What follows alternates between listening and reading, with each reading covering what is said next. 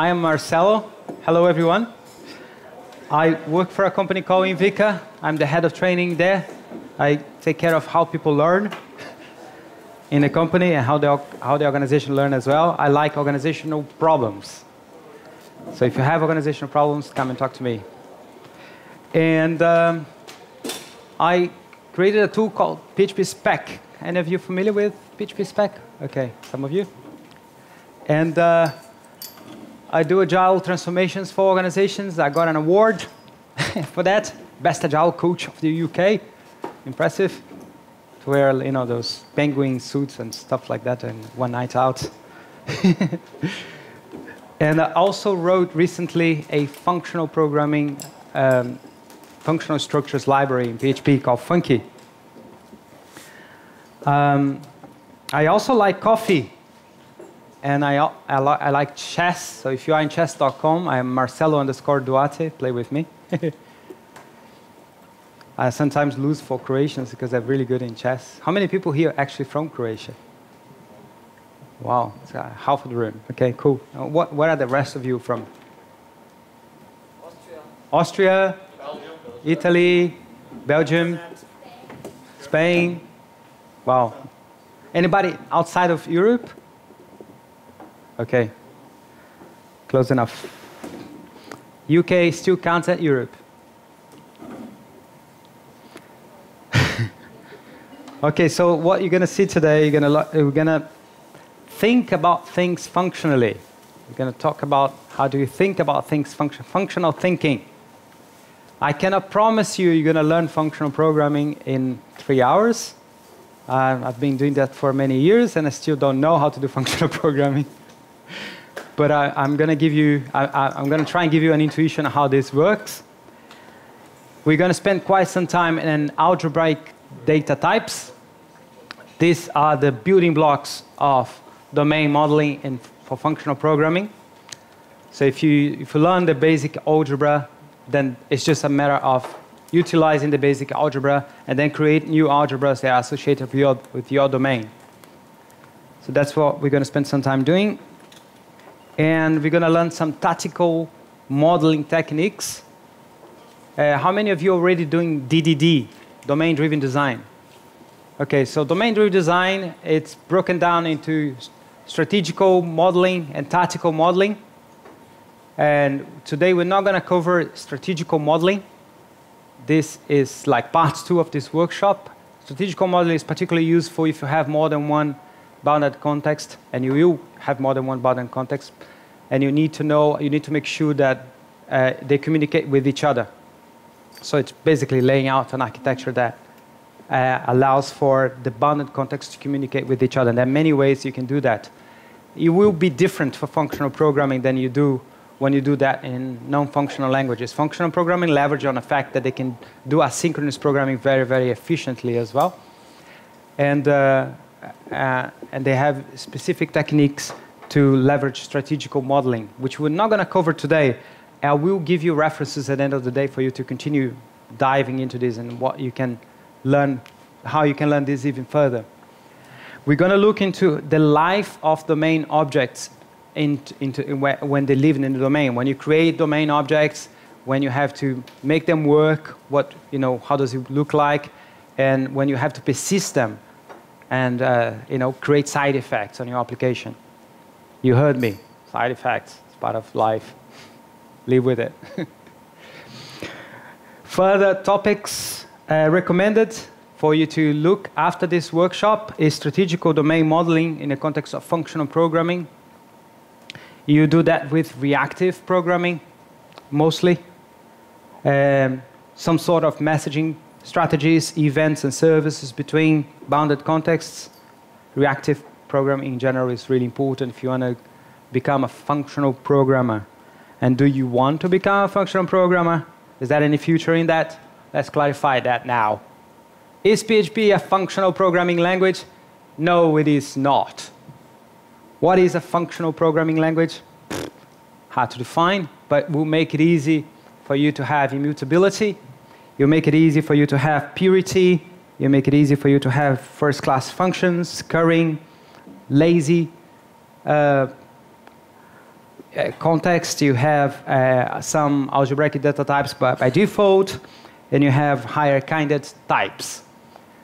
We haven't got many of these requirements in PHP. We can, we can create first-class functions. We're going to look into that. We can use fun functions as first-class citizens and higher-order functions. We can do that. We can create ADTs in PHP. Funky is an ADT uh, library. Uh, we can, it's very hard to create immu immutability in PHP. Almost impossible. I would say close to impossible unless you have a, a C extension and uh, it's really hard to keep uh, purity in, in, in, in, in, PHP. But we can use PHP to learn these things, and we have to learn these things. Back in 2000, 1999, when many of us starting playing with PHP, no, not you, but you look so young, you make me feel embarrassed. but back in the day when we started uh, PHP, uh, PHP wasn't an object-oriented language. You couldn't even have a class in PHP. There was no class data structure in PHP, in PHP 3. Uh, that was introduced in PHP 4. And even in PHP 4, it was like a, a an array with steroids. Everything was public. Um, and it was only when Zend Engine 2 was written, I think 2004, 2003, something like that. The PHP 5.0 introduced uh, better implementation of object-oriented. So nowadays is the prevailing paradigm. We do object-oriented imperative programming in PHP. So yes, things change. Uh, there is future in functional programming. I've seen the future. It's all functional. Believe me, it's all there. It's the duty of all software engineer to learn functional programming. And I convince you by this. Um, you can see that there's a lot of direction in, in pro, uh, um, a lot of things happening around asynchronous programming. Yeah, have you experienced that? A lot of, a lot of things happening in parallel on the internet right now. And a lot of things being distributed. You, you, computers are becoming very, very powerful. And functional languages are, are being born every day. It's really hard to avoid uh, uh going to a conference and not having one functional talk. Uh, this this workshop was sold out. I did another one in the Netherlands, sold out.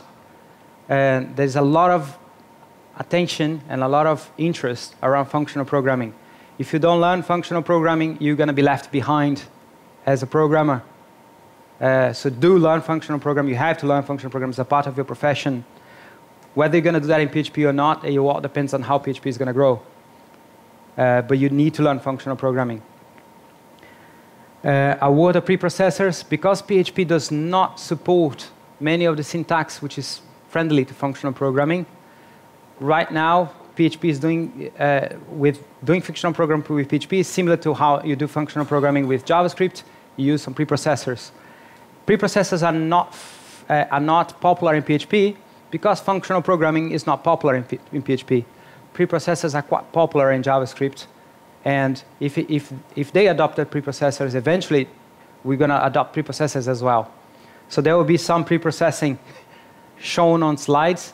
Please don't jump into judgment. Open your mind. Things will change. uh, functional programming is complex. Um, don't be misled by me. I will show all of these three hours that we're going to spend together. Is gonna, everything is going to appear very simple. But this is just Marcelo's magic.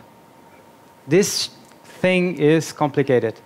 And, and do dedicate time to learn this and get your muscles, your uh, mental muscles working around this. And don't be shy. And eventually, you will become um, you will become your second nature. Functional programming is going to be the way you think about things if you, if you get, jump into it. All right? So that's my disclaimers. and so the agenda is functional programming, algebraic data types, some domain modeling, and then domain block lifecycle, which covers the creation, uh, utilizing the domain objects, and then persisting it. For you to make the most of this workshop, you, uh, uh I would ask you to please uh, all silence your mobile if you haven't yet.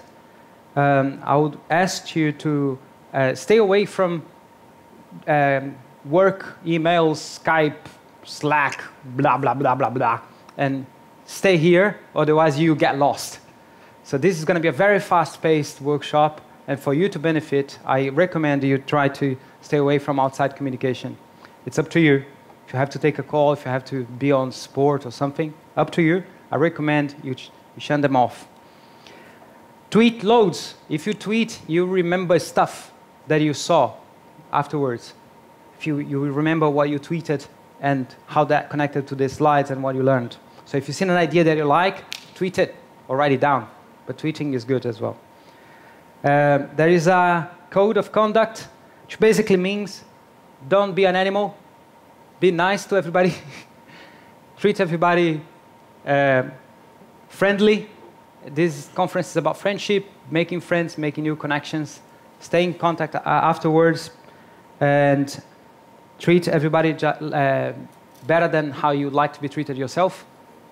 And um, if you have any problem, if you feel any, uh, if you feel uncomfortable, you can approach the staff.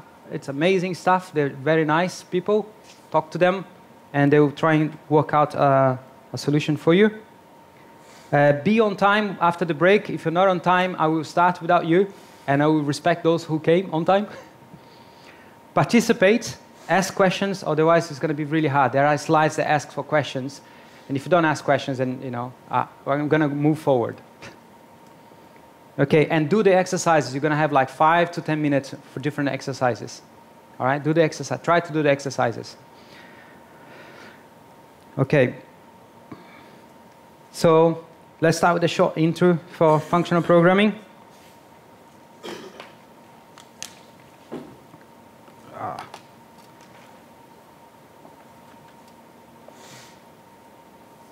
Okay, so what is functional programming?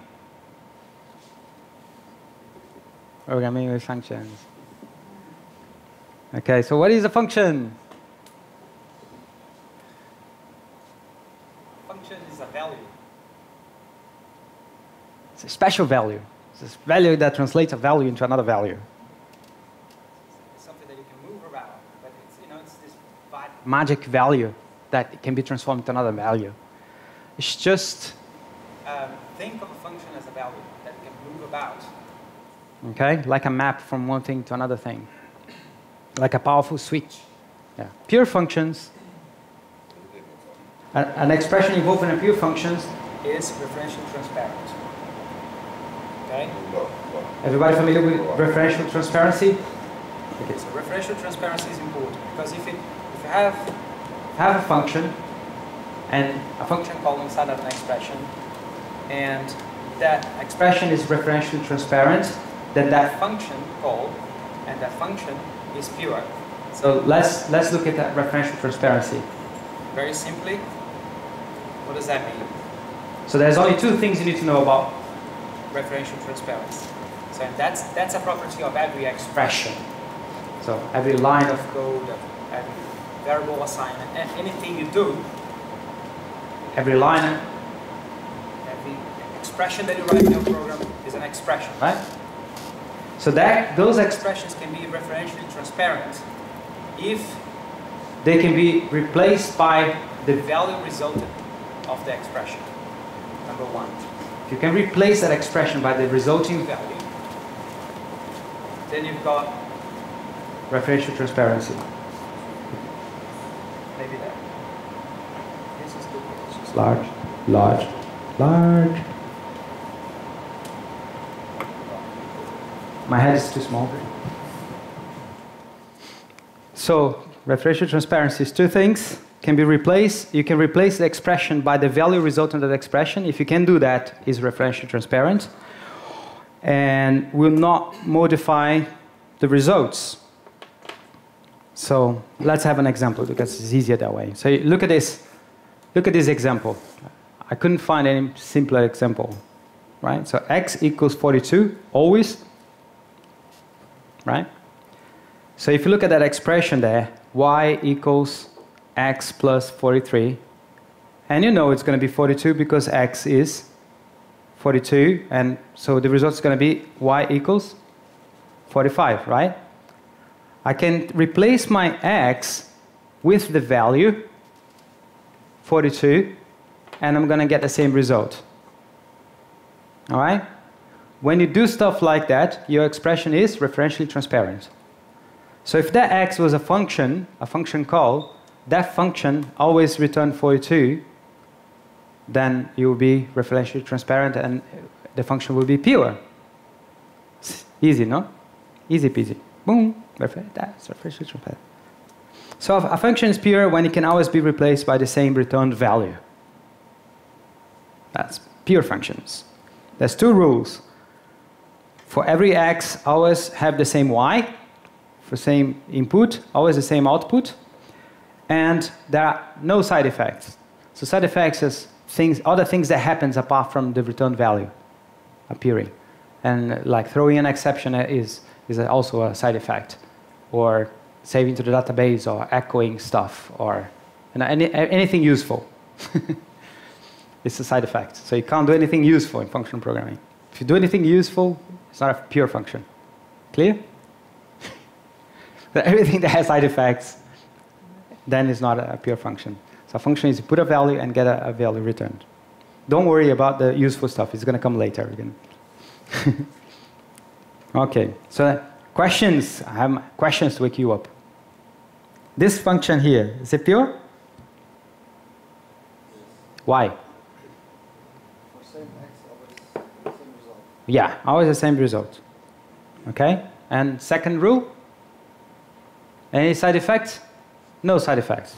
So, boom, pure. Very good, very good. What about this one? Is it pure? Why? Same result. Always. And no side effects. Yeah? Good. This one. Why? Random. Ah, random. Okay, so that's nasty. Dirty function. What about this one?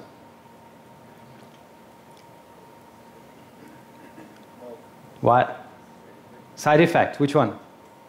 Exception. Very nice. Good. What questions do you have?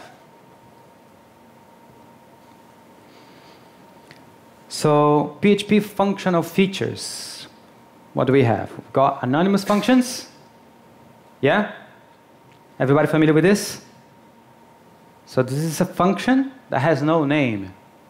Okay? And you can pass that to a variable. The only thing to not forget is to put the semicolon at the end. Boom, boom.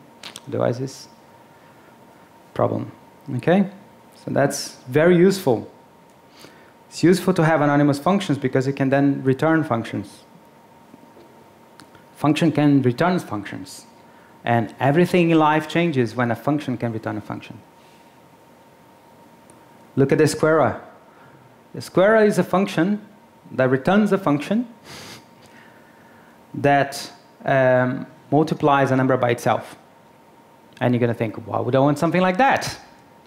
So you can see an example that the square, square is being returned, and then you call square to 2, that will return 4. Not particularly useful at the moment. But these are, you, you see that this is how you compose stuff. When you have functions that can be composed with other functions. You'll see in a, in a second. Note that I'm, I'm using the return value here, a callable. I could have used the return value closure in this context as well,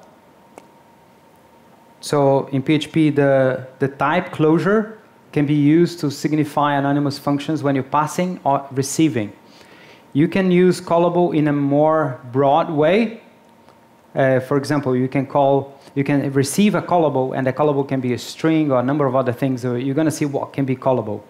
But, and, but when you say closure, you cannot receive a string or you cannot receive other types of callables. You have to receive an anonymous, anonymous function. Um, function can receive function as arguments. So look at a, this function is taking a function as argument. The previous one was returning a function. This one is, is receiving a function as argument. So now I'm, I'm, I'm passing my squarer to my power of 16 And what I can do now is that I can create a square of 16, so 16 times 16. So you could potentially create a power of, uh, you can multiply 16 for any multiplier that you like. So this is how you start composing functions with another. So these functions, they can return functions and or receive functions as arguments. They are called higher order functions and the bread and butter of functional programming. So PHP also have uh, some implementation of closure. So uh, closure is when you, you've got this, see inside you have this anonymous function, and the anonymous functions knows about scope that comes from outside anonymous functions. So you are enclosing some lexical scope. Okay, in this case is the variable divisor. I'm bringing the, the, the variable divisor into the closure. All right? And other languages, you don't have to use the use keyword. In PHP, you do. Some implementation of closure. Use keyword there to bring the variables into the, the scope. Okay? Currying is converting a function of many arguments into a function of one argument.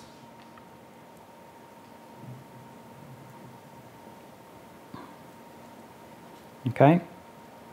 So you've got uh, this function that takes two arguments, takes a, uh, an index and a string, and when you call it, it will return the particular position in a string. So now I want to convert that function into a function with one argument only. Okay? So what do I do? First thing, I return a function return a function. Everything in life starts with returning a function. Don't forget that. How do you do this? I have to return a function. And then what do I do after? And then, ah, doesn't matter. So I will return a function with the second argument that I needed. okay? So notice that the first function, top function return, uh, receives the first argument. The second function takes the second argument.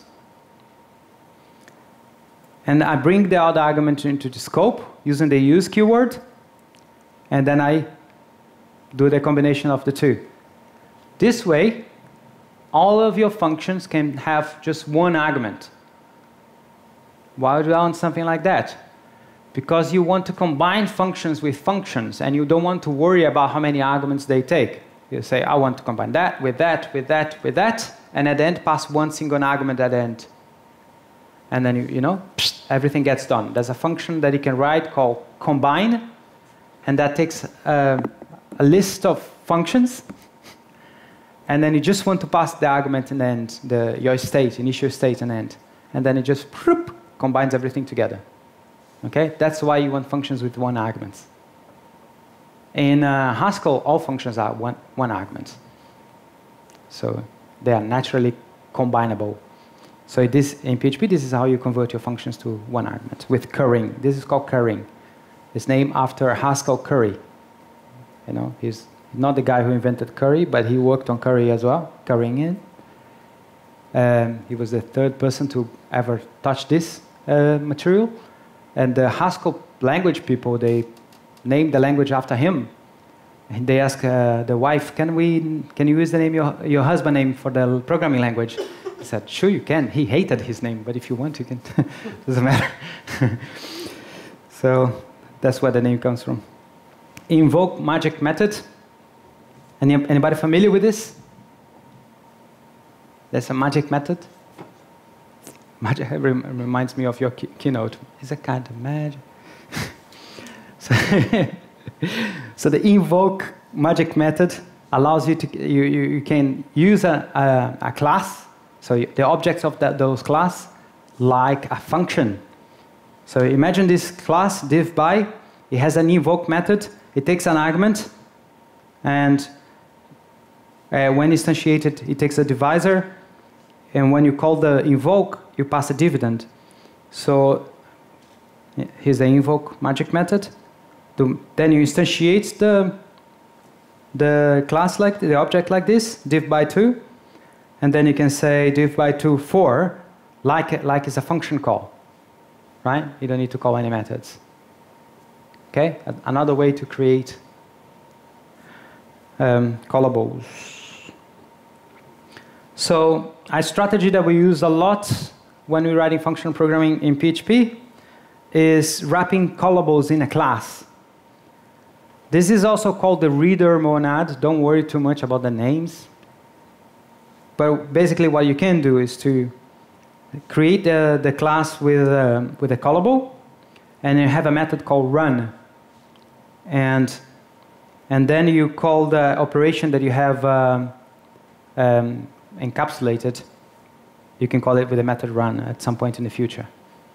Okay? This will become very useful later. Okay? So names, namespace your functions. PHP does not have an auto-loading technique yet, a standard auto-load technique for uh, functions. Nevertheless, you have to namespace everything, every function you write, because other people will be writing functions as well, and they will pollute the global space. So you have to have namespace for your function. Another trick is to use a constant right on the top of your function. Then when you're passing callables around, uh, you can just pass the constant name. It looks much more elegant than a string for the name of your function. And, and if it's namespace, it's going to be a huge string. So you don't want that. So you want to create a constant right, at, right on top of your functions. So there are many ways to pass callables around in PHP. So here's some of the ways. You can pass it as a string. In this case, string pos is a PHP function. And you can pass, you can pass as the anonymous function. You can pass as an invocable object. You can pass as an array with the two elements. The first element is the name of the class. The second one is a static method of that class. You can pass as an object and a public method of that object. You can also use uh, anonymous classes with invocable in them. Are many ways. And here is an example of including a namespace that has functions and constants in them. You can do everything in one line in PHP. And uh, here's an example of uh, using the constant name as a, um, as a callable name. Okay, ready for questions? Give me a way of passing a callable around in PHP. Anybody listening? yeah? An array with object and a function. An array with an object and a method. What else? Anonymously defined. Anonymous function, yes. Another. Sorry? Invocable. One more. Yeah. A string. Okay, good. What are higher order functions? Yes, functions who take and or ret, uh, return functions. What is a closure?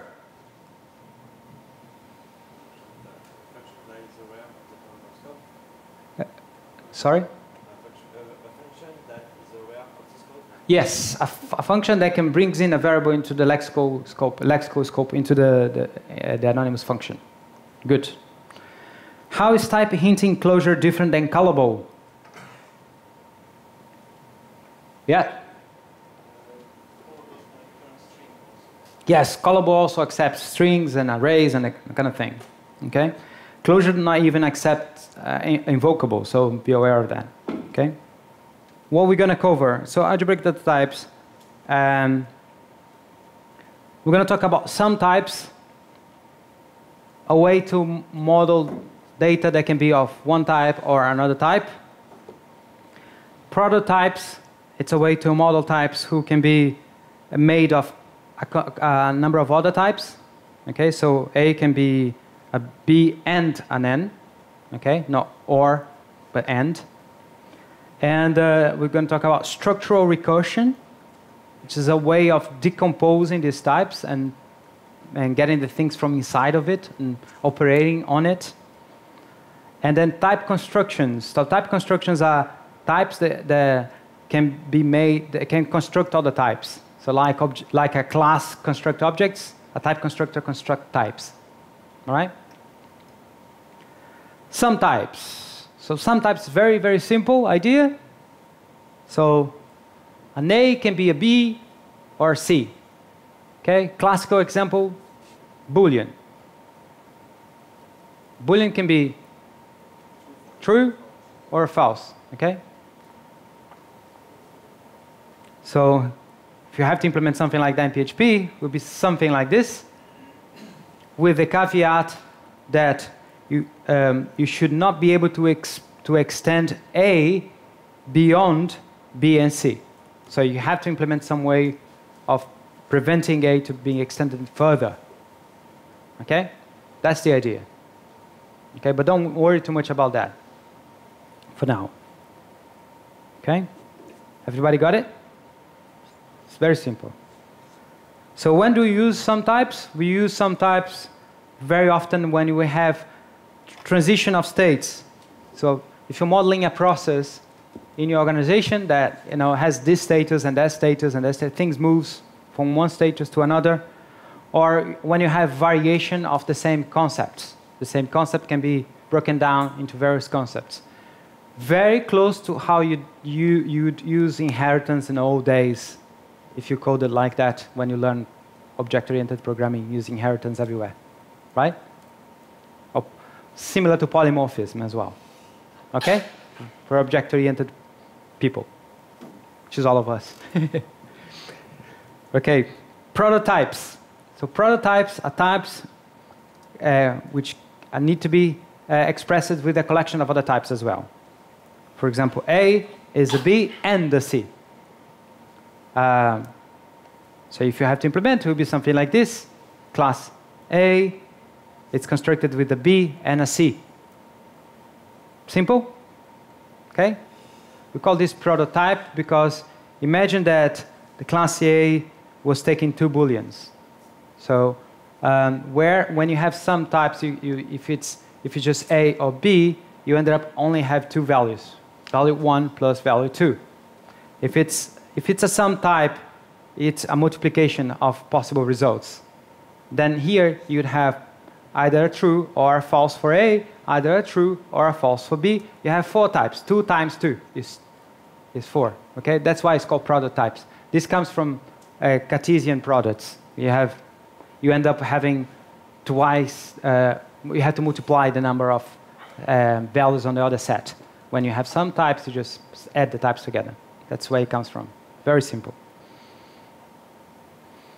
So product types, it's used when you have composite types and when your state is represented by a computation of values of other types. Okay? Which is very often, right? So let's look at structural recursion. So recursion is very powerful, and structural recursion is very, very important concept to understand.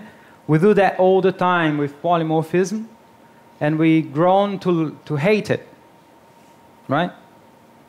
It was very beautiful in the beginning, when, very beautiful idea. And then you've got something like this, you create a class and you extend it, say, say you have an account, yeah? And your account can be a green account, a gold account, and a closed account. Green account, you have, you exchange your stars for coffee when you get 10 stars or 15 stars. If you have a gold account, you only need 10 stars. Okay? Or your account can be closed. Yeah? Everybody drink coffee, right? Kava? Is it kava? Kava. How do you say black coffee? Sorry? Sadna. Sadna kava. Sounds like Japanese. Sadnakava. Okay. And then you have, uh, so if you have to implement uh, the method claim, you have to implement in every subclass if they have a separate implementation of it. So I'm claiming with the green card, I check if I have enough stars, and then I return a new green card with minus 15 stars. If it's a gold card, I only take 10 stars. Yeah, everybody written code like that? You just have to implement the method in every subclass, right? Yeah, you've been there? Sorry.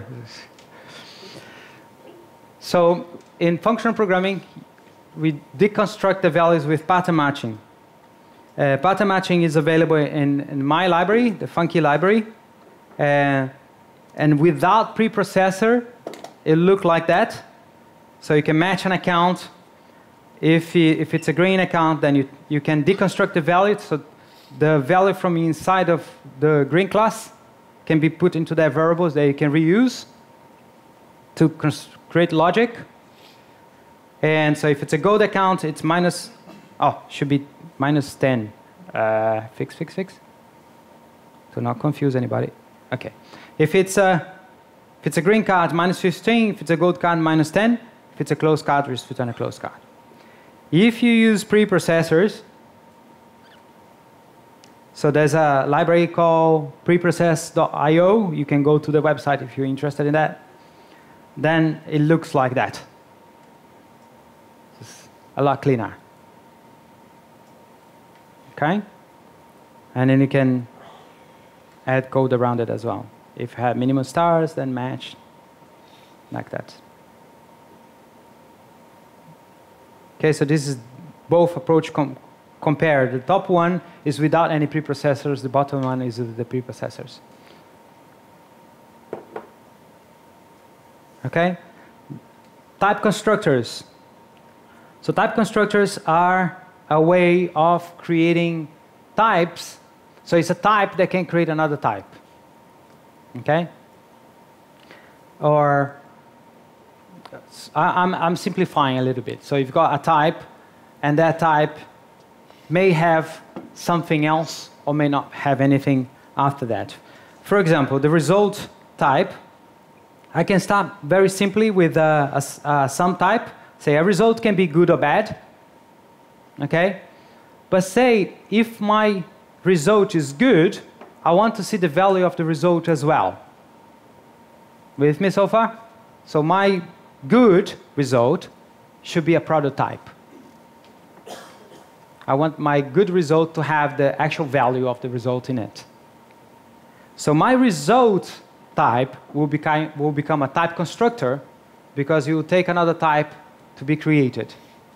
So it will be a result of, so the good result will be a good result of a string or a good result of an account of something. Okay? So you have a type of another type. So, okay? So you have a result of question mark is a good of question mark or bad. So the bad is a nullary type because it doesn't take any parameters, any other type as a parameters. And the result and good are unary type because they take one argument for the type constructor. In this case, it's generic. It, I don't know what it is. Okay? In PHP, you can do that by omitting the type hinting. you, you, don't have generics, but generics is available. Just don't put type hinting.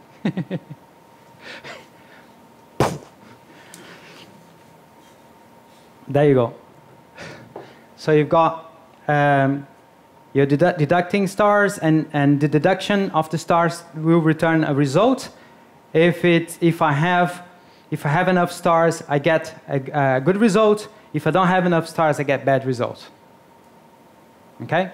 So here, uh, Marco is an example where you could replace your uh, errors with a, a type. Okay, one very common example case of this is the option monad. It, it does exactly what I showed you, but it's more like uh, the language that you see. You're not going to see result good or bad, you're going to see options. But it's exactly the same thing. An option can be a some or a none. So think of a some as a good result and a none as a you know, bad result. So the option of something is a some of something or a none. Okay, and it, it works exactly the same way as you saw now the, the result. So you should now be able to go and do some coding and you be, I, I, believe you've been given a, a virtual machine you should now pull the repository because the exercises are there and um, To run the test, you need to uh, do composer test 3, 3a, which is the number of the exercise. And you should go to the lesson 3.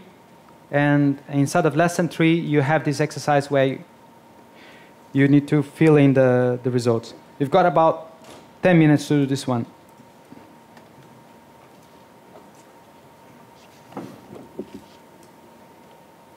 Something like this? Okay, all good? No questions? All right, carry on. So now if you have, if you have, if you're using a,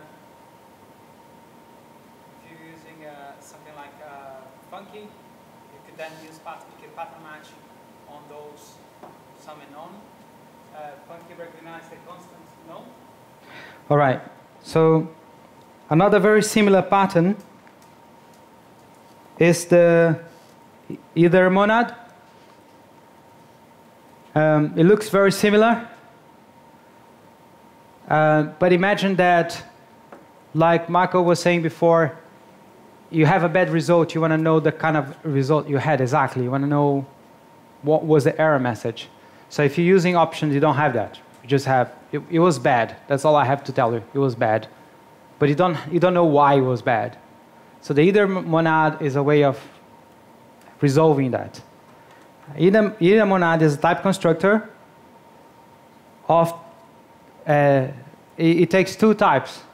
So it has um,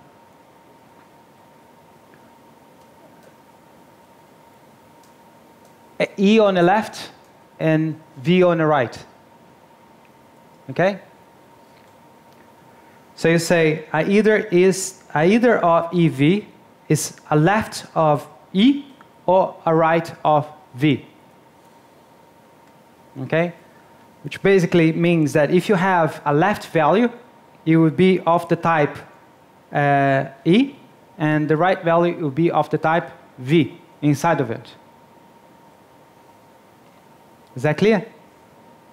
So if you have an error, it will be some sort of uh, error class, and if you have um, a value, it will be whatever type is that type of that value.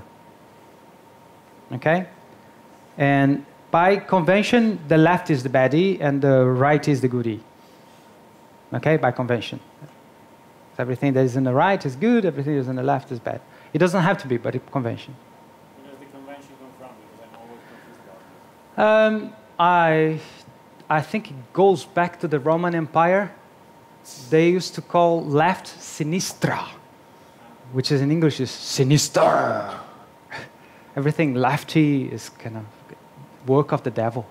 If you wrote with the left hand, you're like witch. They used to burn people who were left-handed. So you- have to learn to write with the right hand. so that's that's why that's where it comes from. you didn't think I had an answer to that.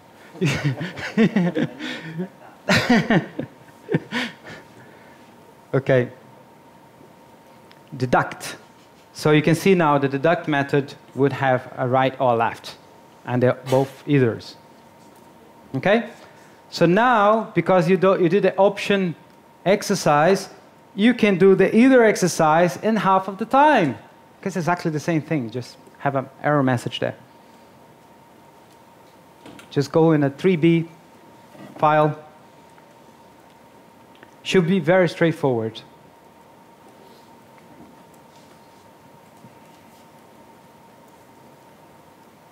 Anybody needs more time? No. Okay. Did you arrive at a solution like that? Yeah? Very, very easy, simple. Should we use either all the time? It looks like it's a good solution. We arrived at a good solution. Should we stick to it? No.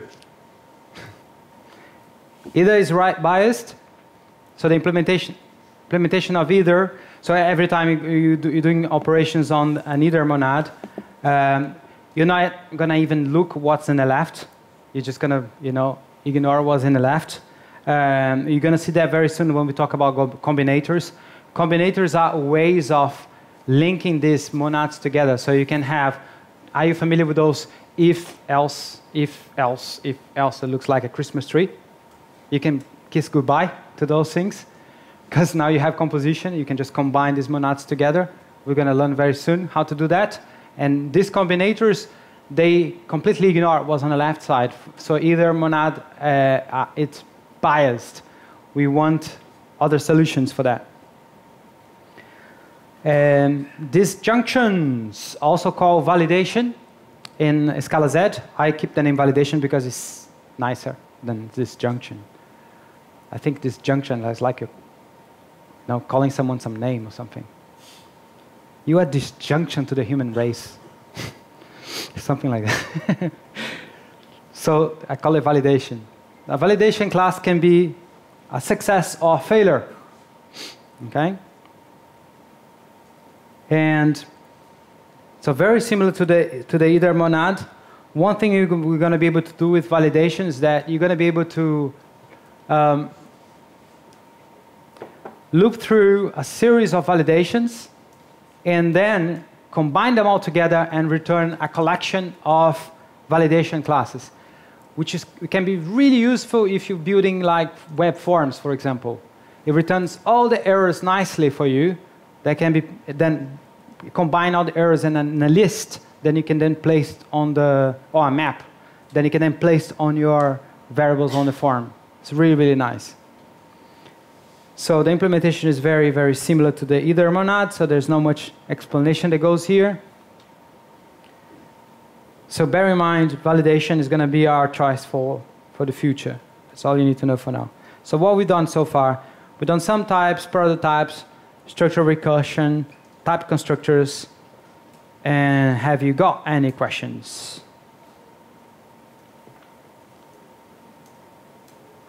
Composition, we are ahead of time. Uh, now I can relax a bit. Composition. Okay? The whole point of functional programming is composition. That's the, the main reason why you do this. Is incredible, incredible power of composition of functional programming. It's something that it will blow your mind when you, when you realize what's actually happening in your code. Um, you've got these things called combinators that you can add to your monads. These combinators are well-established patterns. They've already been written for you. There are heaps of them around. You can just use them, which allow you to combine all of these monads together and, and write programs that are really, really descriptive. You can read the program in a much better way than you would if it was written in a very interactive way. Have a look at, for example, this piece of interactive code. We all have written code like that. Yeah? Very straightforward.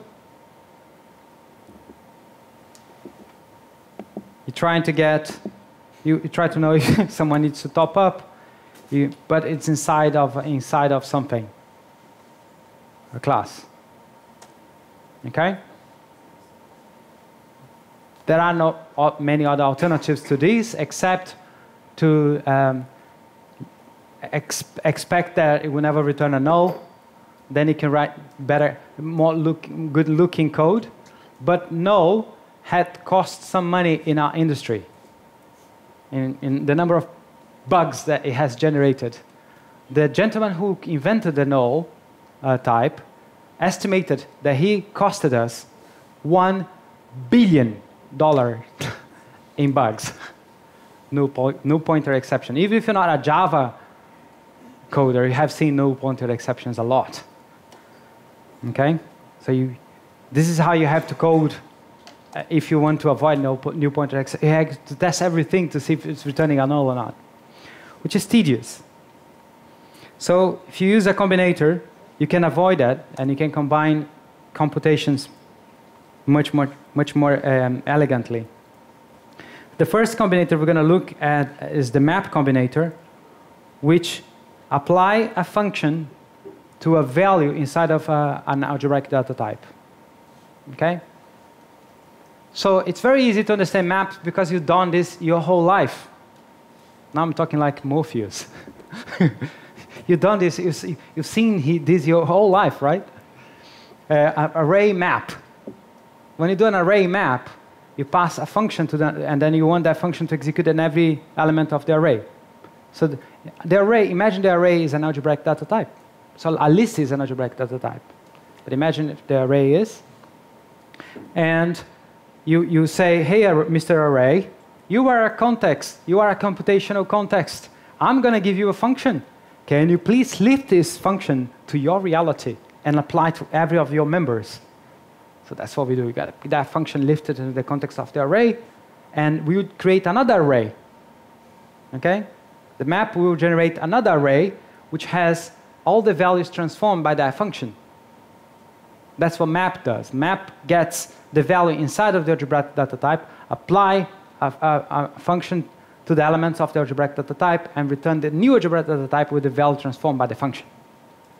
Okay? Doesn't have to be a list. It can be an option, it can be an either, it can be a validation, it can be a future, it can be any kind of monad. Okay?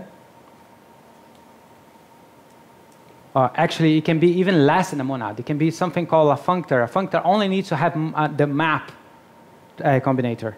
If something, if, if some algebraic data type only has a map uh, combinator, it's not even called a monad. It's that simple, so simple, it's called a functor. A functor is an abstraction over a value that you can then, uh, you can then lift a function into it. So you've got this option of a user. You can map over that user and you can get the card back. Okay? Now, the get card method, it's returning a card. But when you get it out, you get a some of a card. Just like when you do an array map, you get something back inside of an array. Same thing. Okay? So get card is returning a card, but the value returned by this operation is a some card. Good? Okay. What if I don't have a user? What if I have like a, a none? It's going to break my code, right? No, it won't. It was just return a none, which I can continue mapping. You see where this is going? You don't have to stop to ask questions to the computer. You can just tell the computer what to do. Right? So you can die. Put many of them together, get a user, get the car, get the amount, keep going that way. So let's have a look on the first one. Okay? So this is going to convert into that. Some card. And then you can map the card to get the amount of the card. Okay? Now, if, you, if you're more careful and you code all your functions that can return nulls or something like that to return options instead, it changes everything. If something can return a null, just create a type that indicates that can return a null. Use that type. Use types instead of uh, putting ifs everywhere in your code. So that's an option of a card, that's an option of an amount. So here, if you, if you now return, uh, if that get card is return a some of a card, you are in trouble. Because you, got you don't have a some of a card anymore, you have a some of a some of a card. Right? That's no good. So we need to solve that problem. But we're going to solve that problem after the exercise. In exercise, only think about the map combinator for the option ADT. 3C. Go for it.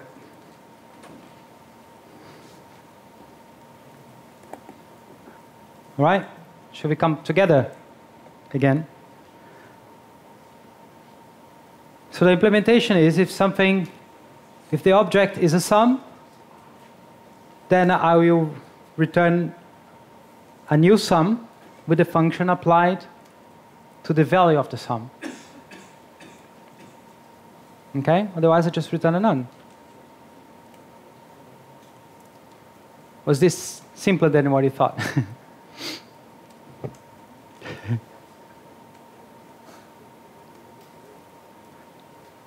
now, remember we had the problem, this problem, Yeah. Sorry, about the, the solution you gave. um, Yeah. Just asking about preferences. Would you be okay with implementing the method in the child class? Yes. Is that okay? Is there? It's okay. It's okay. Um, yeah, probably easier. The reason why I did this in this particular, I'm limited to, to what is available in exercise. I'm not in the context of a library. So if, uh, if you want to see a full implementation of an option monad, you can go to the funky repository and then it's everything there. So then afterwards you can, I'll give you all the references. Okay? So the problem is when your methods start all return options, we will have a break in about 10 minutes.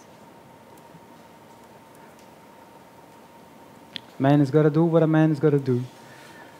So you've got, if you have all your methods returning options, right? What's going to happen is that now you've got, you have a some of a some. That is no good, right? Because if you do some of a some and then you do a map of another function, the, the value of the c there, the c variable there, has a some card in it, and that's not what you want, right? You want the card. You with me? So, if you want to map something, and then you want to flat things afterwards, who do you want to call? No. Not even close. If you want to map and then flat, you want to call the flat map. but it was close enough. Yeah, flat map will map through something and then flat at the end. So you, instead of having a some some, you could just have one some. Okay? That way, you can have your methods return options and not worry that you're going to get a some of a some. You with me? And that's what monads add to functors. Monads are smarter and richer implementation, where functor is just an abstraction over a value. Like you have a, a list is like an abstraction over the value of the list. Uh, option is an abstraction over the value of the option. A monad is an abstraction over a computation. Now you can, you can start seeing that you can com- make computations linked to each other. You can abstract over computations. That's what monad is. If someone asks you, what is a monad? Can you explain? Of course, it's just an abstraction over a computation. So simple. so simple. So now you can do that because you got flat map. It's amazing. Look at that. You got flat map. Now, flat map looks exactly the same as the map in the signature, but that f there, the callable that you receive, will not return just a value, will return a value inside of a monad as well. That's the difference. In the map, the f will return a value. In the flat map, the f will return a monad, just like the monad that you have. So if, you, if this is an option, the f should return an option. Okay? Okay? And, and then you've got magic happens. F must return an option. And then get card can return an option, and you still get a some card. Awesome. And this, this now can be written in terms of monads, which is not an improvement, but wait, wait. That's sugar. That's sugar. All functional programming have sugar around monads. All fun- functional programming languages have sugar around monads because monad is everywhere. It's what you use to build computation, write computation. So there is a for comprehension preprocessor. I'm going to give you all the links at the end, don't worry. So this becomes, hold and behold, boom. Now, if you're not crying right now, uh, you're not my friend.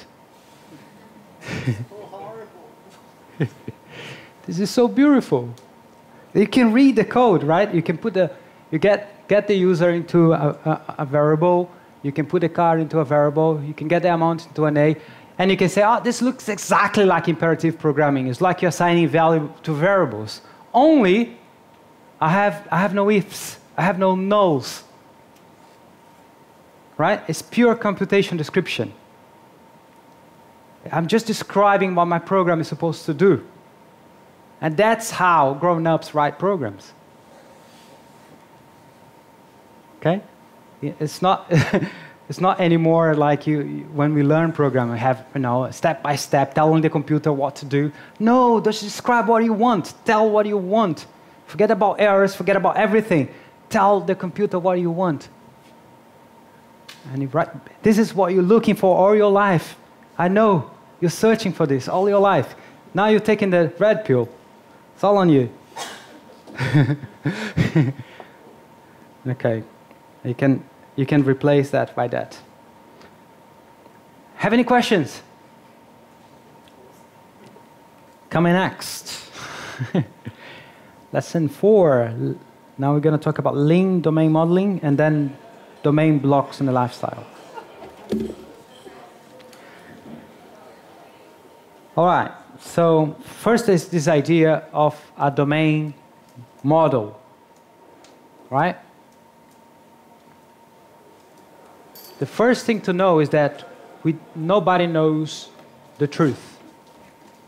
We all think what we know is right and what the other person thinks is wrong, and that is wrong, which proves that we're wrong. So all we have are maps to the reality. We don't have the reality. We have an understanding of reality, and that is a map to the things around us. When we go to a business, visit business to, to kind of get the software for them, these are business who have been running for 20 years, sometimes 100 years, 100 years. And we go there to learn about that domain, and after two, three workshops, we think we know how they, how they work, how they operate, and all the policies and all that kind of thing. We don't. We build maps to try and understand that reality. And uh, it's a good idea to have easy, communicatable maps that other people can look at and say, yes, that's how my business work. Yes, I, uh, you understand. Yes, that's, that's, that's what we do this here. How this process works, that's correct. That's how we move from thing, one thing to another. Th this is maps. This a, a model is a. Think about a model as a map to a context. Just a map is not the territory. Say you are, you are in Detroit, and you've got a map of Chicago. Someone told you it's a map of Detroit. And you're trying to get somewhere with that map. What's going to happen? Disaster. You're going to get killed. Easily. So says Trump. So you, you got to have the right map, or uh, you're going to have at least a map that is close enough to the territory that you can operate on that territory. You with me? So that's, what, that's why modeling is so important. It's not about who is right. It's not about getting the, the right model. is, it's about being useful. Models are good for their utility, not for their accuracy. We, we, want, we want a model that you can use to talk to the business that you are helping uh, with software. And you don't want to map the entire business domain either.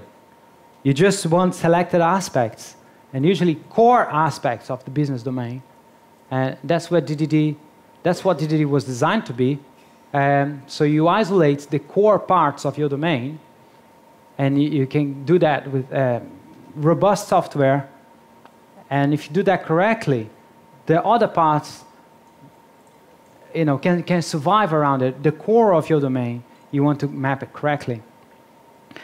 Uh, that's what, that's what the, the, Blue Book is all about. It's like uh, tackling software complexity at the core of your domain. So it's not about, it's not about uh, mapping the entire business, it's selected aspects of the business, and it's not about mapping a solution to the business problem. It's about mapping the problem. And this is something people don't get right usually when they're doing DDD. They think DDD is about writing the solution, writing entities or aggregates or event storming and, uh, or event sourcing. Or it's not, DDD is not about the solution. DDD is about the problem, mapping the problem domain properly, communicating with the domain experts and understanding that, and then modeling with software. Okay? So we typically use rich domain models for, do, for doing that.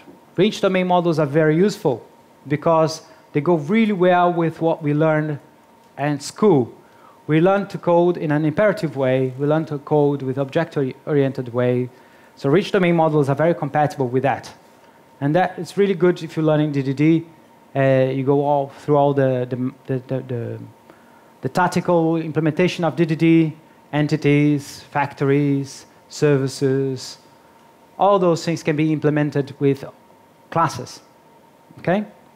Rich domain models are, mod, uh, are domain models in, that try to keep together the idea of state and behavior. So you've got some state and behavior together. And a good way to think of it is to think of classes. So domain-driven design was developed in the early 2000s. 2003 was written the book. And this work was heavily influenced by the work of a, a lady called Rebecca Wirfs-Brock. She wrote a paper in the 80s. And, uh, and she was the first one to coin the first ever uh, driven uh, DD things, one of the first ever DD things. So it's responsibility driven design. And the book of Eric uh, Evans is incredibly influenced by this idea, which, uh, you know, you, you've got ideas like the tell, don't ask. You're supposed to instantiate an object and then have a message sent to, to, that, to, that, to those objects. You're interested in the behavior of objects, right? So not treating objects like bags of data uh, or writing structs in C and then have this main um, function that calls other functions in your code, and then you have this stack full of function calls, and uh, you have the global state in the structs, which code that we all have written in the past. And relational databases just help us perpetuate this model by uh, the, the idea of relations. A relation is what we know as a table. And you have relations and you have relationships. And a relation has um, a number of attributes, right? So a table has fields, okay? And when people coming from and after 1970, 1970 is when relational databases were, were created. And up until almost today, applications are written like this. So you look at your database, and the database um, becomes the application. And people are writing a class, one entity for each table, more or less. And there was like there was a movement in like you know, when the Rails was very popular. Uh, there was a, the active record patterns where you have exactly a one-to-one relationship. And then Martin Fowler wrote that book, The Patterns of the Enterprise, to try and break a little bit with that. But still, there's a strong relationship between your entity relationship model and your application uh, layer. And this was heavily condemned by Rebecca Wirfs-Brock in her paper. And she, she was uh, presenting an alternative to that, which is don't use data driven uh, development, use responsibility driven design, uh, the, the design. And that's where domain driven design shines, because when you write domain driven design, you're thinking about the behaviors. And your entities should have behavior, and your service should be about behavior. You're trying to tackle the behaviors of the, of the business. Okay? So, uh, well written aggregate should have proper um, actions in it. Or you have alternative uh, patterns of like the command queries where you have commands which are, again, behavior. You're interested in the behavior. You're not interested in having, and there was a, a problem of the first round of DDD people who first re- read the Blue Book wrote those entities, especially in the Java community, where and Hibernate, uh, using the Hibernate library, where you have entity with synonymous to getters and setters, right? Who wrote code like that? You all did. Come on, raise your hand. Yeah, this is like all over again. Your code has become, uh, you know, like those C code back in the day, where you have access to global variables everywhere. That's what, uh, you know, an entity with getters and setters. It's just, hey, I'm here, change me. Do whatever you want with me, I'm free. And then what's the problem of that? The problem of that is that if you can change the states of your things from everywhere in your application, you will change the states of things from everywhere in your application. Just picture this, eh, and I get it. I got a whiteboard. nice. So here's an entity that has a relationship with another entity. So A has B, that has a C, that has a D, right? So you, you can do code like A, and then get B, and then from B you, you can get the C, get C. Come on, you don't, you all done that, right? And then get D. And then to make matters worse, you, you, you put in an if here, and depending on the result of that, you do some stuff, right? Come on, you all have done that. So the problem with this, and this is what, what she's writing about in her book, this is the data-driven approach, is that now this, this upper level module know about this lower level primitive, knows how this guy operates, and is making decision for it. So if you change this code, and this is going to be the same for when you have an E, has an F, and this both has a G. What happens if you change D? Boo! Two things happen fragility and rigidity. Fragility is so because you can call getters everywhere, you change this guy, you have to go back and look where you call getters everywhere to see if everything makes sense to you.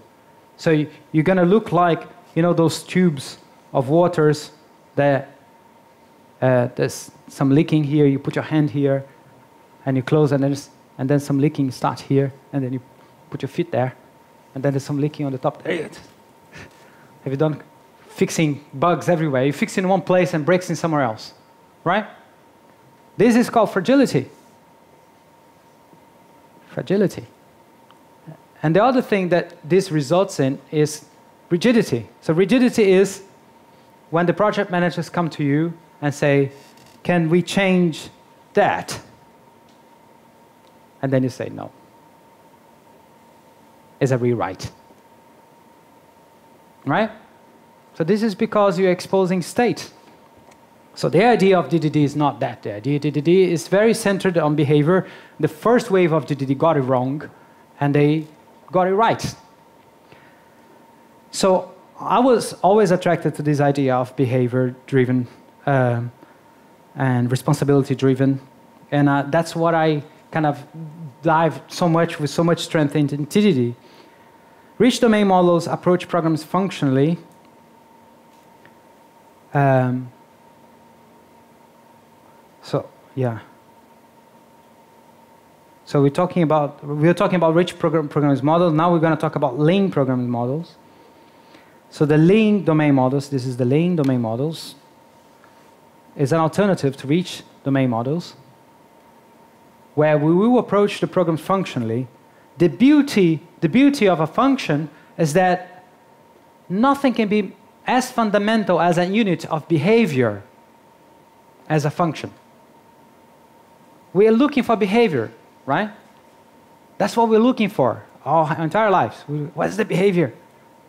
And an object has, you know, when, you, when you're writing things object oriented, you think, where does the behavior go? In that class or in that class?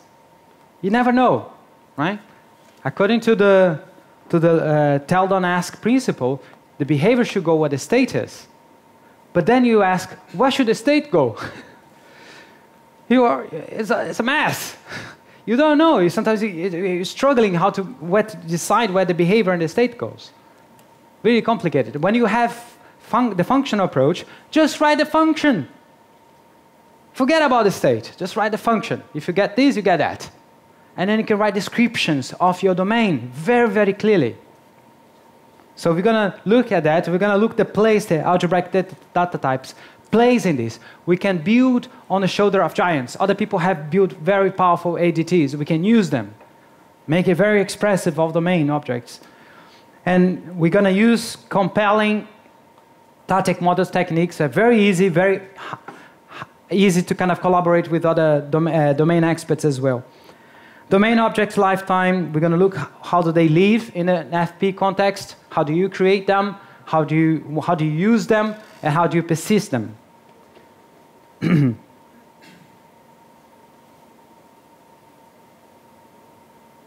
so let's look first how we would model things in a rich domain. Say you have that domain that we've been talking about. This is the loyalty cards. Have you got loyalty cards? You have not got. Uh, some people do. Okay. Okay.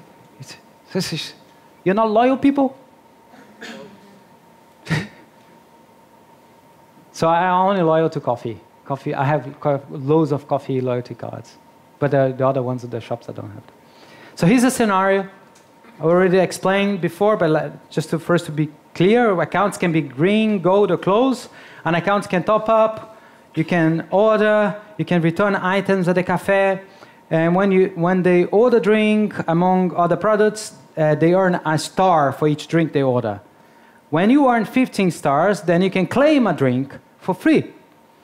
If you earn 50 stars in one year, then you are upgraded to the gold card. Gold accounts only need 10 stars to get a free drink. You need to earn 50 stars in every year to keep your account, otherwise, you're downgraded. So if you're doing something in the rich domain model, you're not going to do exactly this one, but you're going to do something like that, where you have an aggregate and you have a number of other entities and, and value objects around it. Correct? That's how we do stuff. Or if you, you may use something like command query or events or something similar. Correct? But what you see is that you got that behavior on your aggregate that you can call you, ca- you, uh, and then you, the, the aggregate has to have state as well, and it has to be, serve as an entry point. That's an aggregate root of the, your aggregate. Everything here is an aggregate. That entity there is an aggregate root for the, this aggregate. And then you can ask things to that entity, and that entity is an entry point for that aggregate. Everybody familiar with that? Or if you're not familiar, do you understand what I'm saying? Yeah? Okay. So one of the, the other things of rich domain models is that this change in place. You have to keep track of the state on every entity. So you've got put the, the values on all the entities and you change in place all the time. So There's a lot of mutability happening in your model. And, and then have to you know, use something like uh, unit of work to make, keep tracks of your entities, make sure that they are uh, consistent all the time. They have the- you know, you, you're flushing them into the repository so they have the right state, all of that, right?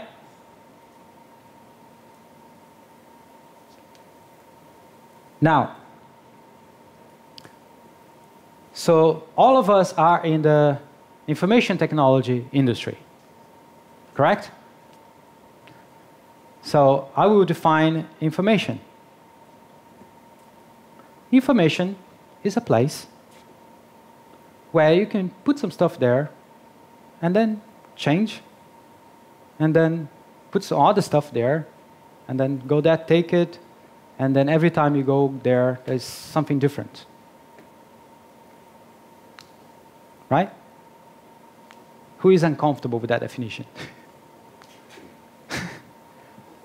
right? But that's how we treat information. We treat them with these identifiers where we put stuff that they're not facts. What is a fact? A fact is something that is. Right? I, in the beginning, I was asking Alexa, Alexa, who is the president of the United States? And she says, it's Donald Trump. Next morning, Alexa, who is the president? It doesn't matter how many times I ask, Alexa always gave me the same painful fact. Donald Trump is the president of the United States. But I cannot change that. It's immutable. huh? Yes. I, well, I can write a, a, task and replace a, a Alexa task, but that's, that's facts. You know, it may not be what we want to hear, but that's facts. You don't change facts. It's immutable. Information is synonymous to facts. Our industry is information technology, which means we're supposed to be coding with immutability. That's the value of values. Values are immutable, they don't change. You can trust them. If you want to hear more about this, point being made, this is a talk given by this gentleman, which is Rich Hickey. He talks about the value of values. And he, he evolves that idea on how if you write programs with, um, you know, classes, when, every time you write a class, you're creating a type and you're making more and more your program uh, hard to be written in another language because you're creating types that don't exist in other languages. Whereas if you use values of very fundamental types like a map, a class very often is a map, or if you use tuples, or if you use, you know, um, lists, these are things that are available in every language. So he makes that point. It's very interesting. Go and watch it. And another aspect of lean modeling is the, the purity you get when you do things this way. We talked about purity early, where you know you know what you the, what is behavior. What's the definition of behavior? Behavior is the rules for, of, the, of changing some input into some output, right? And that's isn't that what we're talking about when we talk about purity? Isn't it? So if you think about your program this way, think about your program this way. Say you're, you're writing a, you're writing a, um, a mobile, you're selling mobile tariffs online, right? So you go to a website, you choose a device, and you choose a tariff, right? And then, and then you go, the next step is a, a plan, and then you go get an order at the end. Okay? Everybody understands that, that domain, right? You have mobile phones. so you go, so when you're choosing a mobile phone online, you go, I'm gonna, I want this device, I want this plan, and this is your tuple. Your A, your A is just two things, which is a device and a, and a tariff. And then you go to the next thing that gives you a plan, and go to the next thing which gives you an order, and you go to the next thing that gives you. That's how you think about programs. It's a transformation of data. That's, that's what programs are transformation of data. But you, you're not changing things in place, you're transforming them, transforming them into other things. That, that's what a map is doing. I'm getting something, I'm giving something completely new. I'm not trans, putting anything in place. Okay? So that's the idea of um, functional modeling is to change things in place, things of things in terms of states that you, you that it can be changed and transformed rather than replaced. Okay? So that's what we're going to be doing. We're going to be doing some lean modeling. As opposed to the uh, rich models, you have the state completely separate to your, to your behavior, and they are immutable state. Okay? You're not going to even worry about the state. You're not going to even think about the state. You're just going to write your behaviors. You're going to wire them all together, and right at the very end, you give the state. And the state is going to run through the description of your program and do what you need to do. And, and this is how we're going to talk about when we talk about how you we persist objects right at the end. Okay? Sometimes you have more than one context. You have, um, in your company, you, you have different contexts. You need to map the context of your application. Okay, uh, we've got uh, this part here is all accounting, this part here is all human resources, for example. And they have they have similar concepts with the same name, but they mean different things in different contexts. Okay? You're familiar with that? Yeah? So that's called bounded context. And you'd have the, the same principle uh, uh, applies inside of each of the bounded contexts. But when you get to communicate between bounded contexts, you need to use some sort of messaging exchange, which we're not going to cover today, but if you want to get into that, you should look into reactive programming and other techniques for, for achieving that. so today we're going to talk about the modeling inside of the bounded context only. Okay? So we start with the behavior. Start with the behavior. And what is the behavior? We saw the scenario already. Yeah, rewarding loyal, loyalty accounts. And we start with thinking what are the services here and how I would, would like how I would like to kind of group together some of these verbs into the, uh, like a subset of services that I want to pack together. So what, what are the services that I have here? So I have these verbs. I can earn a star. I can claim a drink. It, they kind of seem good together. A and claiming a drink, like they, you know, it's a part of the same part of the business. So that's I want to group together in a service. There's all, all the other part there that to do with the order, the top, top up, and you know keeping your balance, which is the order uh, service. But I'm going to call this the rewarding or the reward service. So you identify the services and you try to map out what are the activities of that service. And then you create a, uh, like this, like a circle, put the name of the service in, and then list the activities of that service. Very simple. The gentleman in the cafe, they can look at this and they can understand reward, I can earn and I can claim you can start talking about what else do you do there. You can very quickly map those things out. For us, it's also very easy to translate that into an interface. Okay?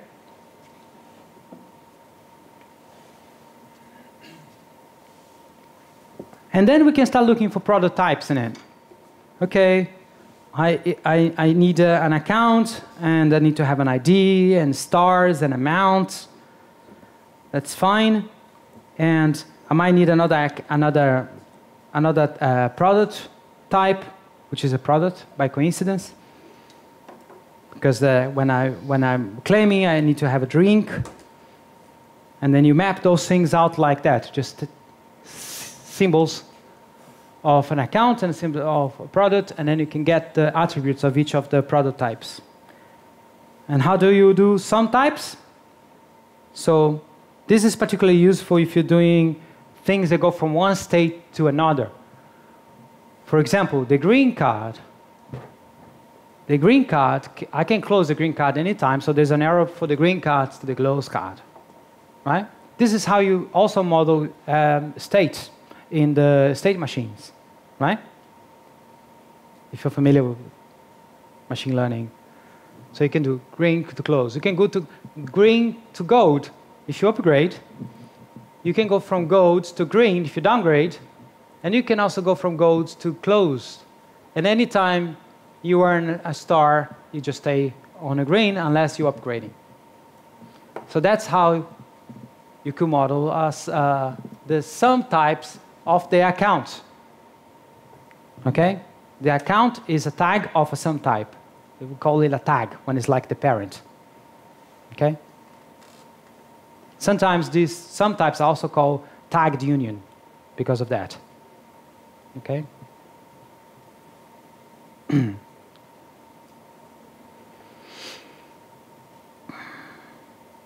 and then you've seen that implementation before.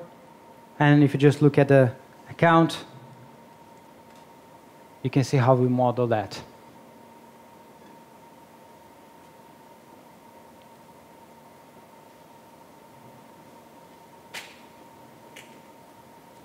Questions? Yeah. Is there a reason why you can go from gold back to gold to earn stars? Yes, you, yeah, you could. It's just, yeah, in a, I missed that. But in a conversation, you could capture that as well. Anything else? You've got paper. I didn't think you'd have paper. This is wonderful. I'm, I'm just going to let you try, and then I give you I give you five minutes to try this, and then we can uh, wrap up together if you, if you don't go very far. Um, just um, one thing that's interesting about this exercise, I'm going to read the exercise together with you to make sure that you understand. So this is the claiming work expenses. So you're going, you're going to a conference, for example, and your company lets you claim the expenses uh, if you spend money with food or travel or anything like that. You can go back, show the receipts, and then they'll pay money back with you at the end of the month. Um, so the expenses can be of food, travel, accommodation, or any other kind of expenses. And the expenses have a cost and they have a date. Uh, you can claim uh, an expense sheet, which is a list of ex- expenses, and the claim can be pending, can be approved, rejected, or paid. Staff can add expenses to a sheet at any time, so you can add expenses to a sheet and not claim it. And you can claim later. Only approved, unpaid claim can be paid. So you, you can see the order of the states going on here. Okay? So the claim is a very interesting, it's a very interesting uh, sum type 2 uh, model. So if you jump straight into the claim and just, uh, try to model the claim sum type before you model the expense um, in any way or form. All right? Is there any question about exercise? You're not supposed to write code on this one. You're supposed to use the paper and the pencil and model it. I've got a flip chart here. You've got one of those at work, they're great for this kind of thing. Get, get up off your desk, go to a whiteboard, and do a little bit of modeling before you sit down and write the code. Find out very refreshing, and the ideas kind of flow. I have, I have one at home now. I used to have three of them. Last year, I, was, I made a commitment to myself to learn general relativity. And yeah, I, had, uh, I was looking for a new girlfriend, so I had to uh, get rid of the whiteboards because it was weird to bring a data home. I had all those formulas and the put them off. So I had to get rid of my whiteboards. But I, I like whiteboards a lot, so I've got just one now. And ironically, it was given to me by my new girlfriend. so uh, I'm not doing general relativity, relativity anymore. I'm now into group theory and series.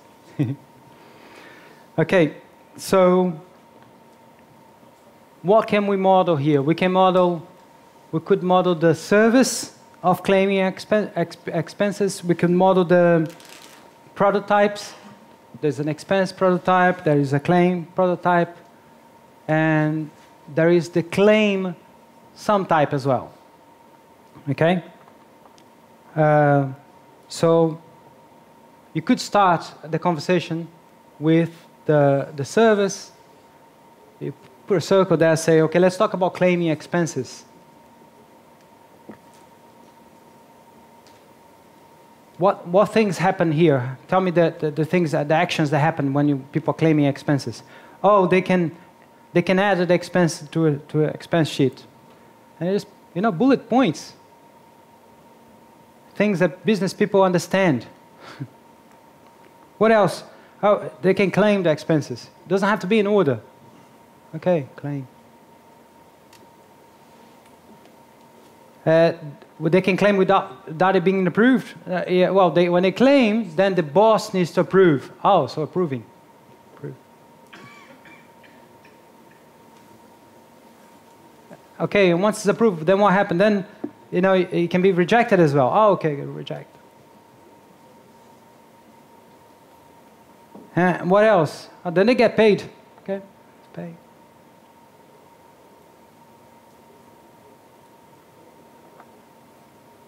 put the verbs there. And then, and then you start thinking, okay, what kind of, uh, what kind of uh, data you need to keep track of in this case? You need to, so when you add an expense, you add an expense to an expense sheet. So you need to create expenses.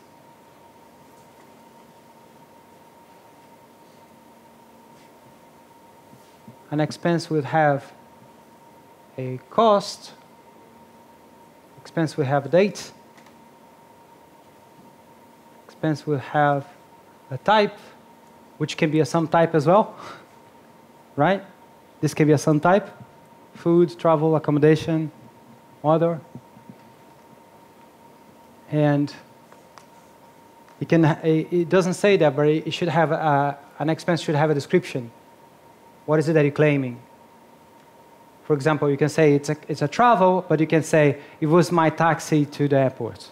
You can put a description there. It's not there in the problem, so I'm not blaming you if you didn't get that.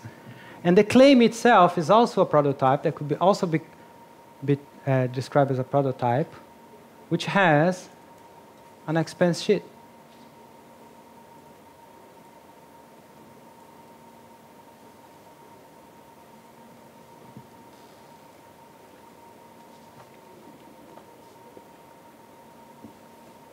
If you want, you can keep the date of the claim as well, if that's important for your domain. The date here is particularly important because there's a rule that says you cannot claim an expense in the future. And there's also a rule in the domain that says that if the type is food, you can only claim if it's 25 pounds or smaller. But we're going to get to how to validate those rules in a second. Okay? Okay, now let's, let, let's have a look on our states. So we've got first state. What is the first state? Pending. And pending can go to what? Can go to rejected or Approved. approved. Can you go to paid as well? No. Okay. Now, with rejected, can I go to paid? No. So now I can go to paid from here. Yeah?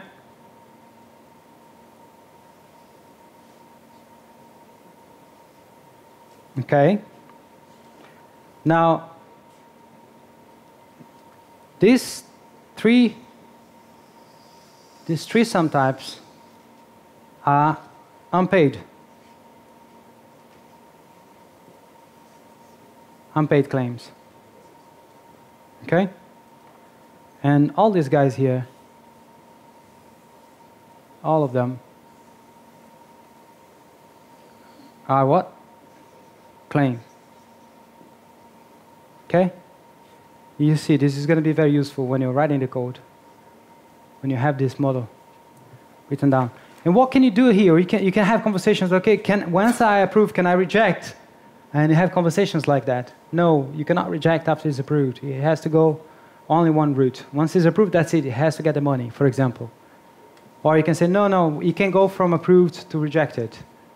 The admin person can say, okay, I, I, there's a mistake with the, the, the values are not correct. The receipt and the, the value claimed uh, different, and then go back to rejected. So these are conversations that you can have with the business, and you can map here on your domain model. Okay? And it makes writing the code much, much, much easier. All right? And it goes well with our functional structures as well. And that's all we have. We have, that's all we have. we have services and we have very simple types. It's beautiful. Beautiful. All right. So then let's have a look at the lifetime of these objects. They go through a lifetime. They have creation, participation, and then we need to, we need to persist them. Right? They get created, participation, and.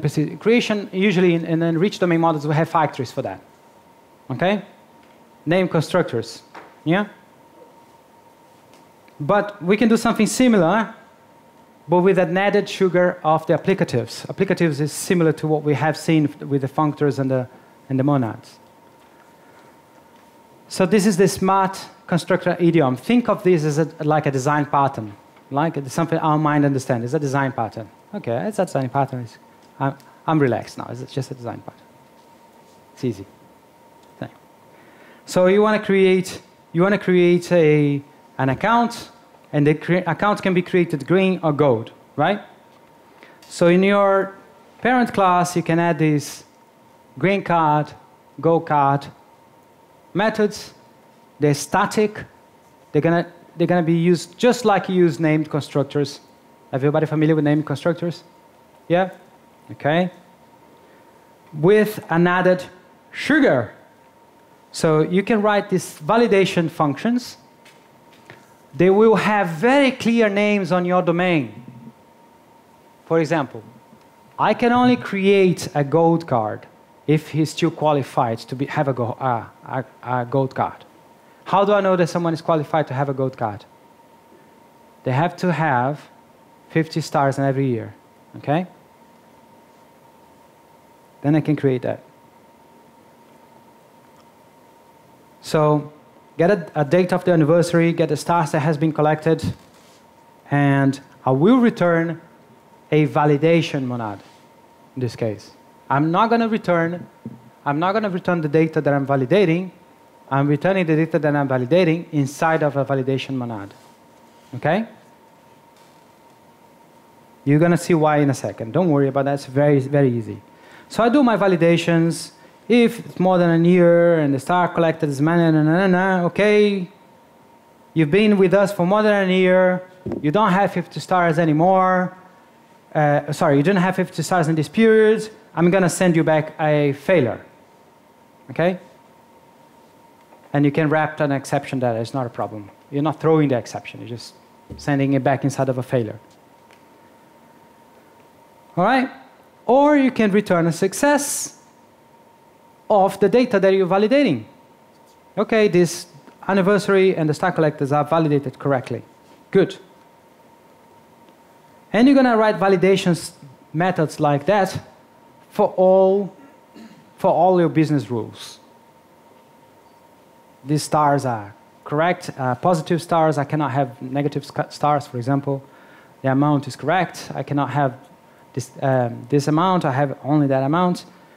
And once you got all these validations rules written, you, you open your smart constructor and you're gonna up, you, can, uh, you can use an apply method.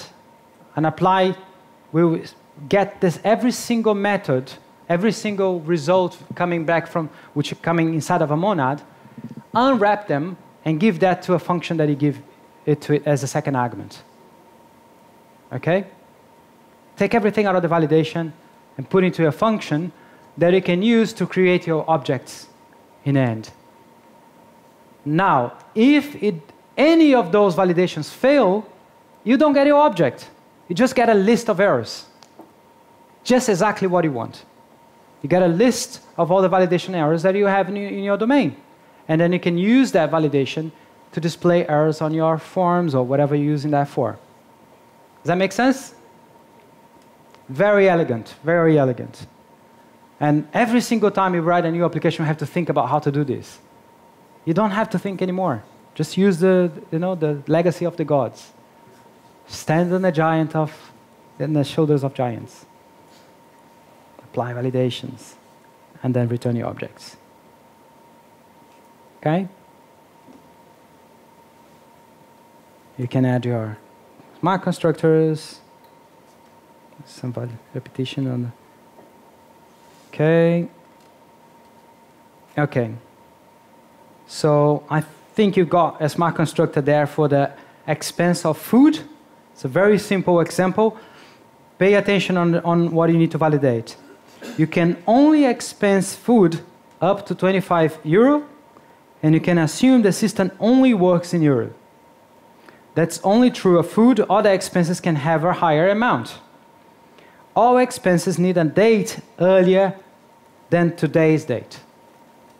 So that is already validated for you. You just need to add the logic for the amount of the food into your validator on exercise 5a. Okay? Should be straightforward. Everything is written there. You just need to add the validation that is missing. Exercise 5A. Let me know if you have any trouble. All right, so you just look into a new pattern, which is, so in case you're wondering, what if I have many things to map? Uh, like in this case, you, you, you're sending many values into a function instead of just one, okay? So that's, that's called apply, which is a method of the applicative uh, algebraic data type. So using uh, applicatives as well.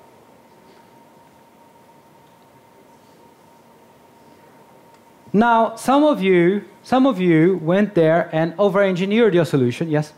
Um, sorry, Yeah, I saw that you use a constant food yeah. that I couldn't really find. Is that on purpose? So food would probably be one sum type, but I didn't get that far to implement the sum type yet. So I just had something that I could make sense of. Uh, now, some of you would have noticed a few things, like what happened if my expense is exactly 25 pounds, or what happened if other things like, you know, uh, what happens if I pass an expense that is negative? How is the program going to deal with that? You're not testing for those things, are you? you, you you're not, you're not, you're not going to check those things because what you're doing is something called example-based tests. Example-based test is as good as the developer.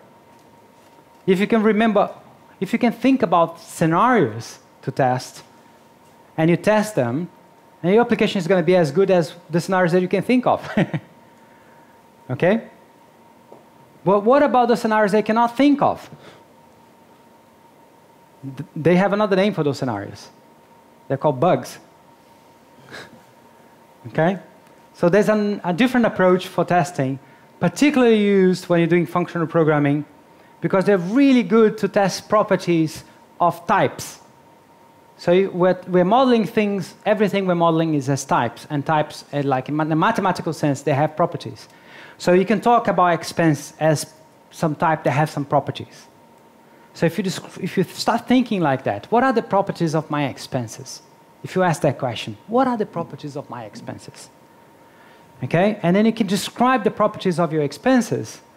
That way, you're defining the algebra of your domain as if you're you know, defining an, a mathematical algebra. It's so beautiful. Just like when you wrote your, you, you remember the mathematical teachers when he had those symbols, cryptic symbols on a board, he trying to explain some, some ways that some set would work, and we would do, we have something like uh, for all x that belongs to the remember this that exists a y also belong such as wasn't that cool when the teacher could write things like that and you wished you could as well? You wish you could read. Yeah, isn't it? Isn't it like whoa i wish i could write like that. It's like now how does it do that? I, I can i can understand when he's talking and writing it but i would never come up in, in, by myself and write those things. When i was learning it it was like cryptic but it's nice to have a language like that. You can talk about the properties of your code in the same way. For example, in property based tests, we write things this way. For all elements in my algebra, when there is a business constraint, then the property should hold true. Okay? It, it, forces you to, it forces you to think of your the elements of your domain as something that has properties. And when you think like that, you stop writing examples, you just define the property. And when you define the property, and the beauty of this thing is that you don't have to think of every single scenario because these libraries, there are libraries like this one, that you're going to have the, the link at the end, they generate elements of the if you just describe okay my expense is made of this thing which is an integer this thing there's a string this thing there is a float this thing there is a claim. And you can generate those things and mm, like create like a loads of those and test your code with all of them. And anticipate errors that you have not seen before.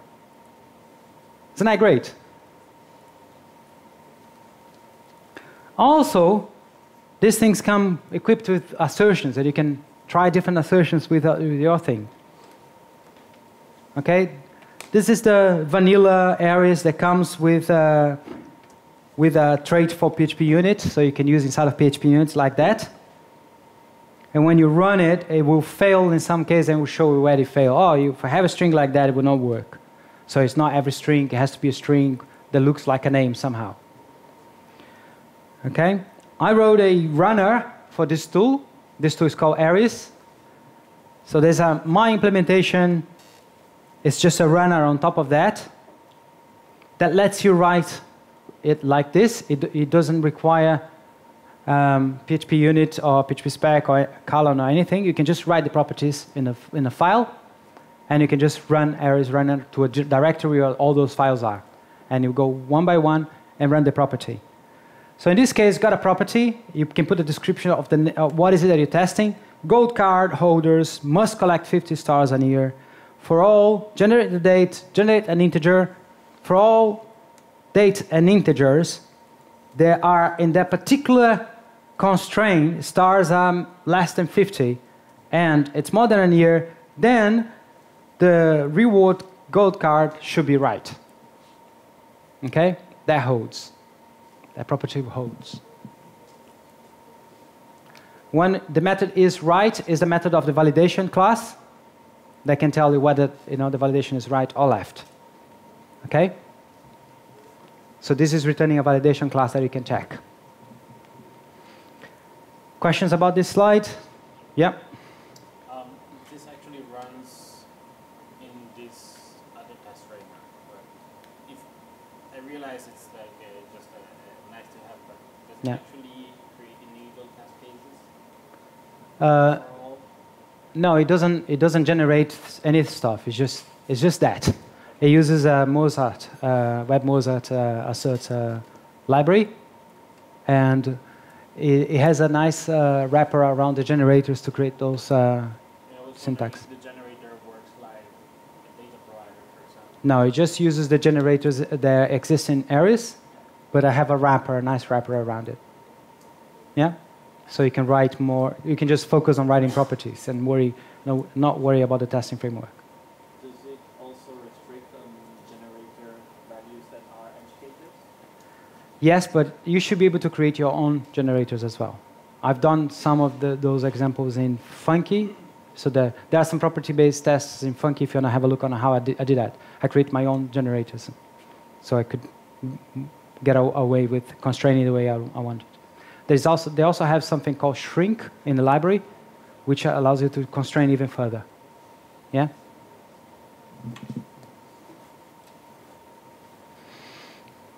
Okay? This is your homework. Take a picture. I'm going to also send this slides to you so you don't have to take a picture. but the homework is uh, make, writing a property-based test to the test that you've written so you, you, you know the example-based test that, that it was written just now, the one that you did on 5a.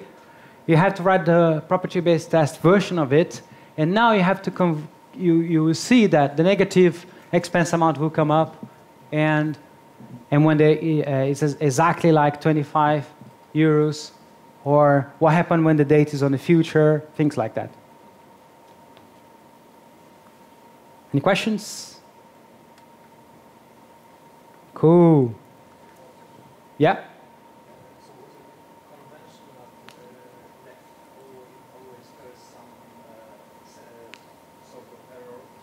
It's a convention, yeah. It doesn't have to be. The either monad, it's not a validation monad. So you can put whatever you want on the left, whatever you want on the right. But the validation monad is more likely restrict because the left one is called failure, the right one is called success. Participation of the domain objects is in the service. So first you just start by writing the service down. Don't put any properties in it. Just write the names of them. And then you start putting some types there as you're having conversations about that. And once you have a number of those things, and they are all going to return monads. Uh, we're going to look into the monads that they're going to return in a second. They're called reader monads. But the thing you can do is that you can, you can now, for example, I can order something and I can order something again, and then I can top up, and then I can do all of these operations in series, and I can kind of write that operation as a for comprehension like this. So your program becomes more composable. So you can write bigger servers composed of a smaller servers, right? That thing that you always promised your boss that it's reusable, we can reuse in the next project becomes true because you can compose larger applications with smaller services that you write. Okay? And you can persist this thing with the reader monad. The reader monad is something that we saw right very early in the day. it's a class that encapsulates a, a, a, a callable. So you, you pass the callable in a construction where you create the reader, and then when you call run, you will call that callable. You, um, but this is a monad, which means that you can, you can compose with other readers. And you, so you need to implement the map and the flat map to do that. And what does that give you is that um, you have to implement your services to return readers. Okay? And the reader will take a function that takes whatever is the state of your application. It could be a repository, it could be uh, memory. So here in this example, you see that the for comprehension does not do anything. If you are a good functional programmer, you're going to feel very good by the time you get a line 6 and your program does absolutely nothing. This is something that we all enjoy. Write a program that does nothing. Functional programmers love that. And then at the end, you just pass the repository, which has your state and all the side effects to it. And you, you know the run method would then call a function that takes the other repository and does whatever it needs to do. Now, in case you're wondering how does that look like, do I have code for that? I can show you the code somewhere else. Yeah, I'll show you the code on my ID. So actually, you can see on the on the end-to-end solution. Are you seeing my screen? No, I have to go there. So you can see that when you implement the end-to-end Clean Express interpreter, when you write your readers, I'm not sure, you can you see that? Can you see it? So you see your reader, so your, your add method, for example, will return a reader that will take that will take the repository that's passed on uh, at the end and do whatever destructive that needs to be done and um, but that doesn't run. That doesn't run until the end of the application when you actually call the reader to do that. Okay? So all those little methods here in your domain, they will return, they will return readers of whatever similar monad you want to use for these buttons, but this is like the simplest possible way to implement this. You return a reader that takes your stateful object, in this case a repository, and it will save the repository, or if there uh, is an error, it will return the list of errors. Okay? Going back to slides. And these are the references for you to dive and look more and learn more about this topic. This is a book entirely on the topics of today. If you want to read the book, the book explains every single part of the things that we went on today. It does not cover functional programming, so you need to read a book on functional programming as well. And what did we do today? We, had an FP intro, algebraic data types. We talked about composition a lot, how to compose, how to think about our functional programs as composition. We did some domain modeling together. You, you did some domain modeling yourselves. And we looked at how the domain objects will live within a functional programming. There is a competition going on for the best workshop. Vote for us because we were the best. we were the best. and give feedback on joind.in. Take a picture. And you're the best. Thank you.